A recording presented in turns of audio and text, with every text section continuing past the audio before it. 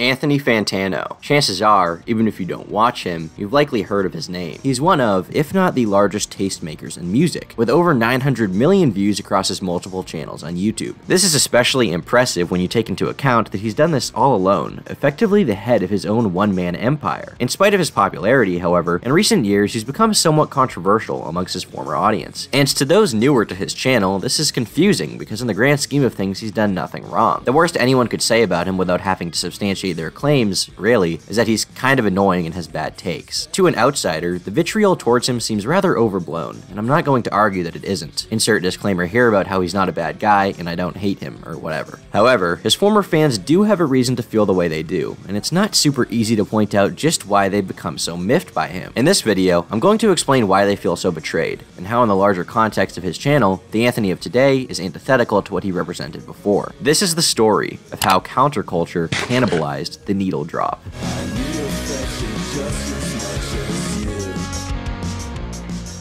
Fantano began his pursuit as a music critic in 2007, with the first iteration of The Needle Drop beginning as a public radio show. He eventually also launched a blog to accompany it where he would post additional written reviews. Back then, podcasting as a medium was rudimentary and uncertain, hence how he managed to pitch the show in the first place. He was satisfied at first, but after two years realized that his growth was becoming stagnant. His target audience just weren't the type to tune into the radio, an already withering medium that was continuing to lose its relevance among young people. Weighing his options, he eventually chose to continue continue exploring means through the internet, eventually finding the unique format that would skyrocket him to popularity.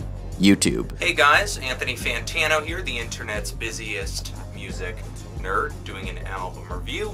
MGMT's Congratulations. Having created his YouTube channel in January of 2009, he's since amassed over 2 million subscribers and been cited by journalists as today's most successful music critic. His struggle to reach his target demographic paid off, with him not only finding success but becoming ingrained in online music culture. He's been directly referenced and sampled by several artists, and has even had his audience's taste in music labeled Fantano Core. Fantano's influence as a tastemaker cannot be understated, and I have to give him props for that. He's living the life that most internet internet critics could only dream of. But that level of notoriety isn't achieved by simply uploading videos consistently. As Fantano himself notes in a profile by Spin, there were many other up-and-coming channels back then who never experienced the same growth or success he did, nonetheless the cult of personality. So what was it that set Fantano apart from his competitors and allow him to tower above the rest? While Fantano humbly cites it as a simple stroke of luck, there's clearly another explanation. The one thing that separated Fantano from the other channels at the time was how closely he aligned himself with the internet's counterculture. Fantano didn't just understand his demographic, he was his demographic. At a time when the internet hadn't yet been adopted by pop culture at large, Fantano was unique in how close he was to the pulse of it all. Or, as M. Lemon would autistically scream at you, Fantano was well versed in memes. His reviews were filled with quirky humor and bits like Cal Chuchesta, in contrast to sanitized corporate publications such as Pitchfork.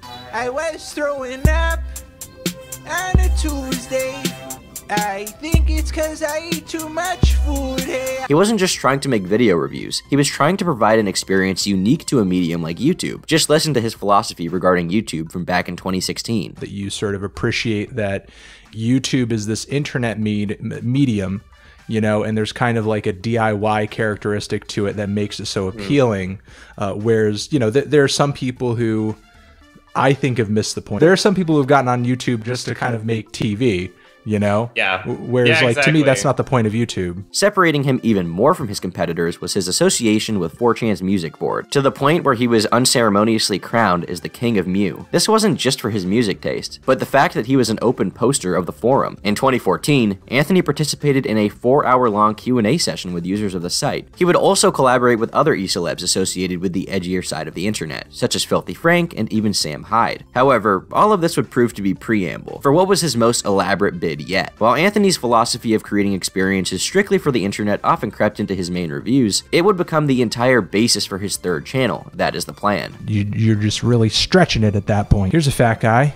Here's a fat guy here's a fat guy. Am I doing this one right? The channel was filled with bizarre meme-centric videos, with esoteric editing and abrasive delivery. Even to this day, these videos still hold up, as his comedic abilities were finally allowed to shine. In contrast to his mild-mannered music reviews, his association with these edgier acts began to make more sense as he indulged in slightly more offensive humor. In 2017, the channel sat at around 400,000 subscribers, nearly half the subscriber count of his main channel, and managed to garner a very loyal audience separate from his other more serious endeavors. However, as you've likely guessed by now, the success wouldn't wouldn't last forever.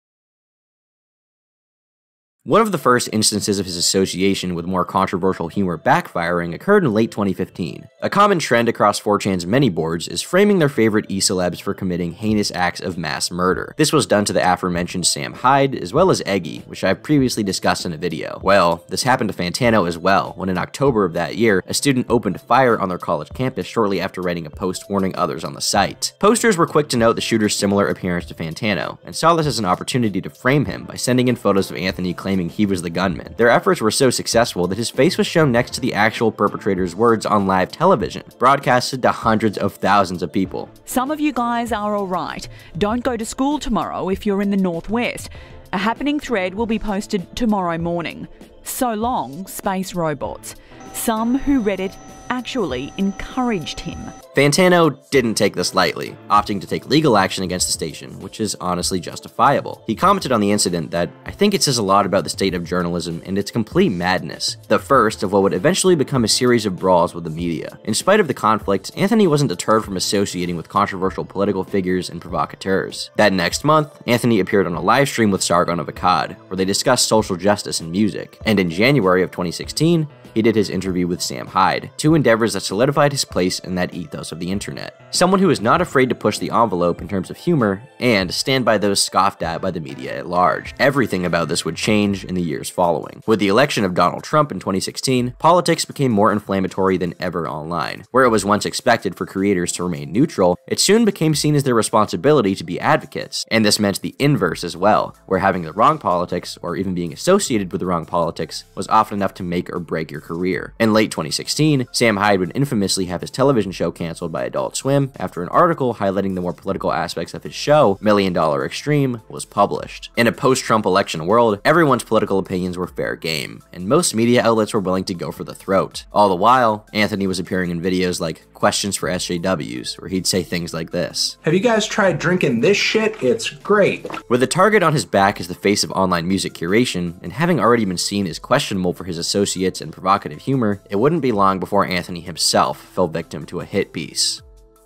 On October 3rd of 2017, The Fader published an article titled The Needle Drop Pioneered Music Review Blogs. His lesser-known channel was a bid to win the alt-right. As its headline suggests, it was an attempt to portray Anthony as a goon to the alt-right, with its thesis centering around the That Is the Plan channel. One of the first paragraphs in the article reads, up until this afternoon, October 3rd, Anthony had another booming YouTube channel, practically unknown outside of his fan base, but immensely popular within it, called That Is the Plan. His vocabulary took on a screechy, 4chan slant. Video titles from the past year include Pepe the Frog triggers Hillary Clinton, I changed my gender because Donald Trump, and Mega Cuck says Pokemon Go is like dogfighting. He raged against SJWs and feminists, and in video after video, treated black musicians as a punchline. The author goes on to explain the various associations I've discussed here, before singling out instances from his meme channel that they claimed were politically problematic. These examples, while maybe convincing to someone not literate of the internet, are actually pretty dogshit. They range from simply pointing out him referencing memes from 4chan, writing, Here he throws in a little easter egg for 4chan heads, when his voice is edited to say Kek, a background image of Shrek with the title Photoshop to read Kek appears. You should have something on your neck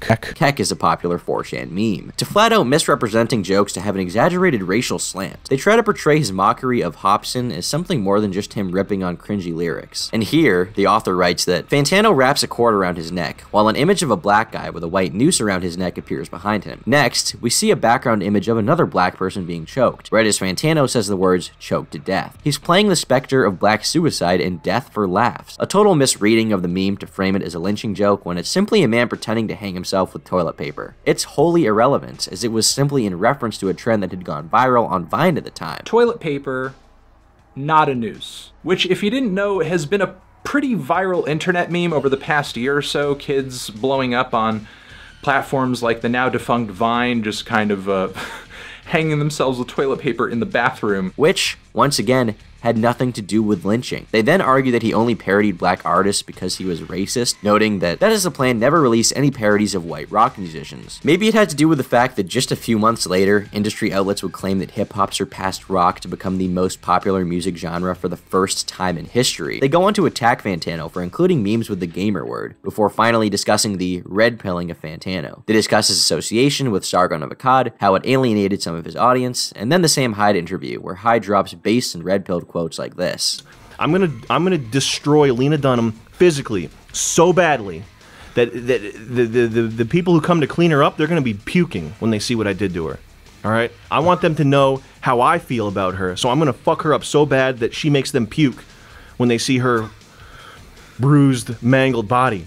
If she ever did anything to me to warrant that legally, now I would never, ever initiate violence against her. The way that you said But that's what would happen. Okay. Okay.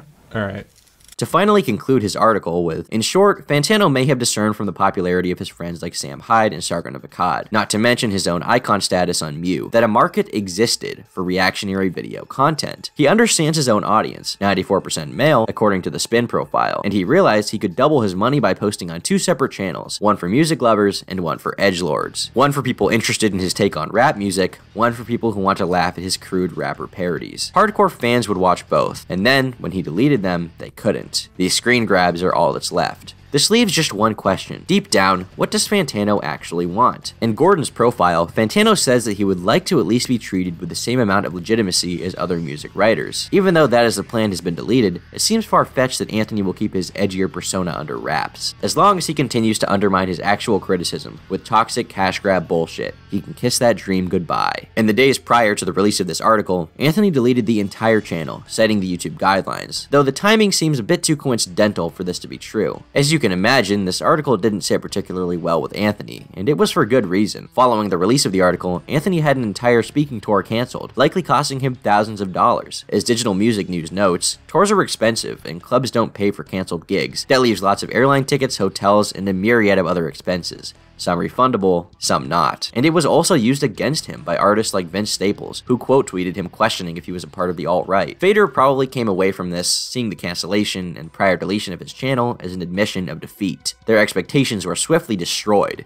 when Anthony posted a video to his main channel titled The Fader Response, where he sought to defend his reputation by pointing out many of the issues with the article in a succinct 20 minute video. And while the channel has been controversial in the past, nothing I've said has been any more edgy or out there than what you might catch on a new South Park episode, or I don't know, a Doug Stanhope stand-up special, or another YouTube channel like uh, Filthy Franks or iDubbbz, and you wouldn't frame them as being alt-right. Keep in mind, nearly all of these people have made much harsher jokes towards some of the same targets I have in my videos on my meme channel. Anthony does a great job debunking the Fader article point by point, even commenting his view of his interactions with Mew. But Anthony didn't just stop there. While the specific details are sparse, the Fader article was eventually removed in March of 2018, with the simple explanation of the claims having been settled, indicating some sort of legal action. In spite of his solid reputation, other media outlets still tried to paint Fantano in a malicious light. Spin.com, which previously had posted positive articles on Anthony, claimed that Fader tried to map out Fantano's political ideology, a far cry from the actual intent. They also claim that his fanbase attacked Marcus, doxed him, and made anti-Semitic comments about him, without acknowledging even a single falsehood from the Fader article. Regardless of the fact that Anthony had clearly redeemed himself in the eyes of his fanbase, the damage from the article was already done.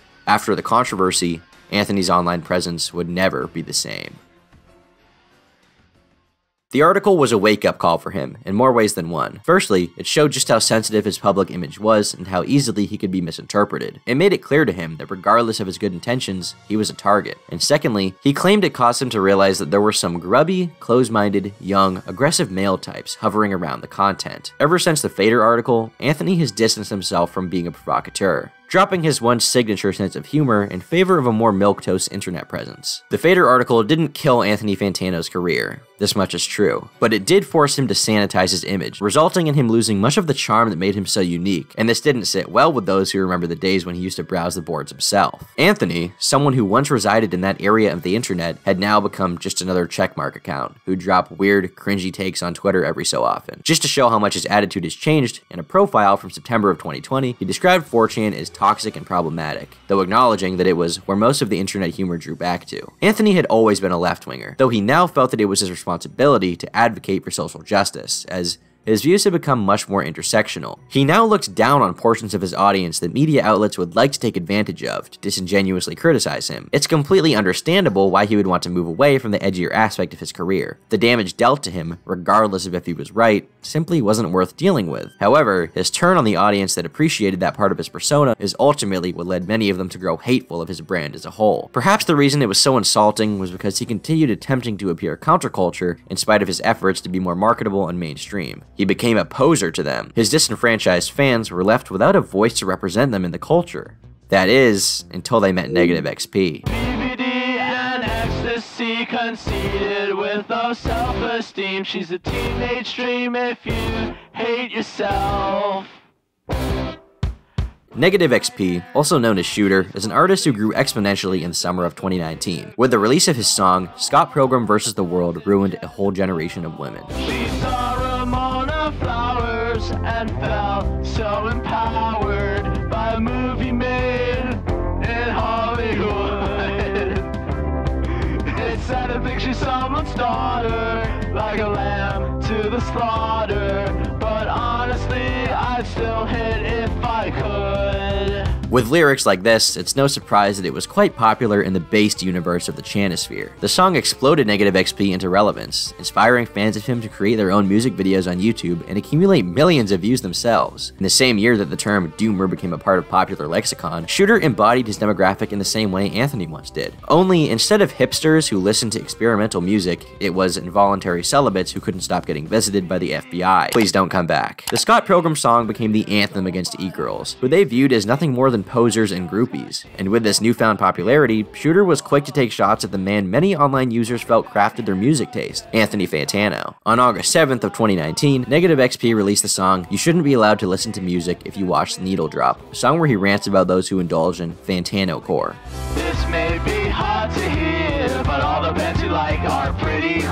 Like so that's why they all lip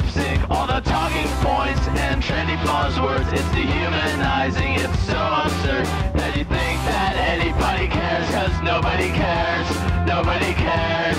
The song is more about Anthony's audience than him, though with his ranting of people who felt their opinions on politics mattered, it obviously hit a sore spot with Fantano. In September of 2019, a Twitter gimmick account called Hot Music Takes tweeted, If you at Anthony Fantano in my replies or sent him my tweets, you are either 14 or a pedophile. Anthony responded asking why they were mad causing the account to reply to him with a negative XP song. This would be his first acknowledgement of Shooter, writing, The lyrics in the first half are the same as in the second half. What is this horse shit? This would be the start of a long saga of interactions between Anthony, his own fans, and negative XP listeners, who repeatedly told him to review his music. Fantano refused time and time again, emboldening his detractors. What the people criticizing Shooter and making a controversy of his music fail to understand about him is that he really doesn't care. I'm not saying this to be condescending. If you look at anything the guy does, it's obvious that he just doesn't really give a shit. Even his initial response to Fantano was nothing but a stupid joke. This really highlights the difference between Negative XP's mentality and Anthony. One of them has a reputation to uphold and a business to maintain. The other doesn't really have much to lose and doesn't care if someone on Twitter calls him sexist. Shooter's convictions only go as far as a gag to make a funny song. Even in the Scott Pilgrim tune, Shooter lists off a bunch of stereotypically negative traits about e-girls, before ending every chorus with, honestly, I'd still hit if I could. He even made a male equivalent about Toonami. This is not a guy with serious beliefs, it's apathy to the extreme. And this would be seen when Anthony began stoking the flames himself. On September 18th, 2019, Anthony wrote on Twitter, I'm wondering what kind of rut you need to be stuck in to be recording lo-fi incel rock songs that are all just Wavves ripoffs, and then upload them to SoundCloud. Yikes. Then, when someone asked if he was talking about Shooter, he responded with, ding ding ding, a clear personal attack at negative XP, one would expect the diss track Shooter responded to Anthony Fantano with to be similar.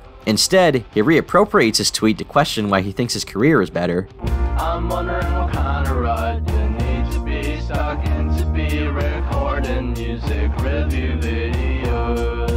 Turns his writing style into quirks of the song,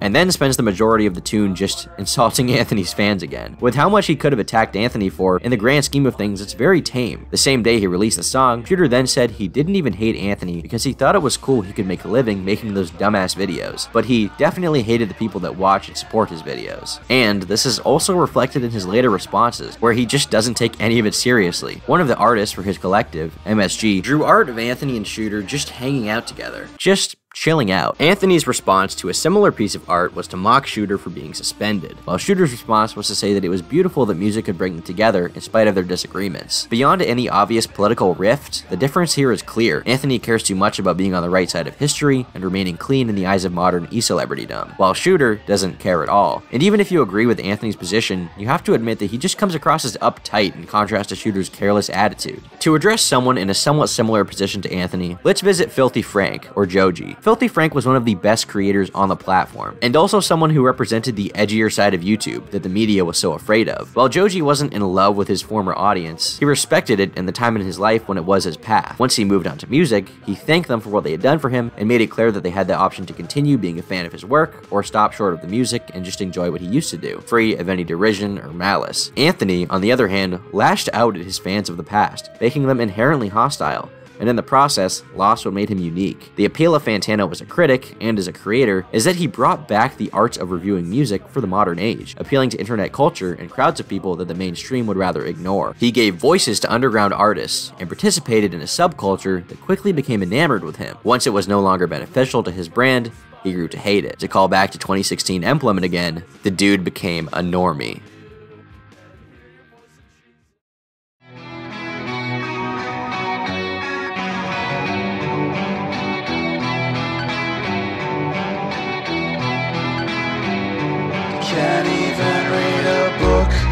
I know in more recent times I've become known for going after people for more career ending criticisms, and I don't want it to make it seem like I'm trying to do anything close to that here. I sympathize with Anthony. In the end, none of this controversy, if you want to call it that, will really affect Anthony's channel in the long run or his bottom line. He has such a large audience across his channels, and it's so diverse at this point that there will likely never be a narrative from this corner of the internet that really starts any significant wave of hate towards him, and I don't want that to happen. And this video also really isn't about negative XP. His success in mocking Anthony and the traction he managed to gain from that alone is representative of a greater trend. Anthony used to be part of the counterculture and participated in it, but due to a series of events where the media attacked him, he was traumatized by his association with that community and decided to leave it behind. But ultimately, in his attempt to distance himself from his edgier fans for fear that it would bite him in the ass again, it only bit him harder. I've been Turkey Tom, and until next time, leave me alone.